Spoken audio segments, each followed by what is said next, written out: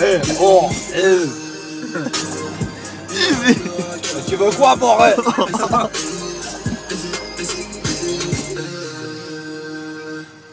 Putain, avec la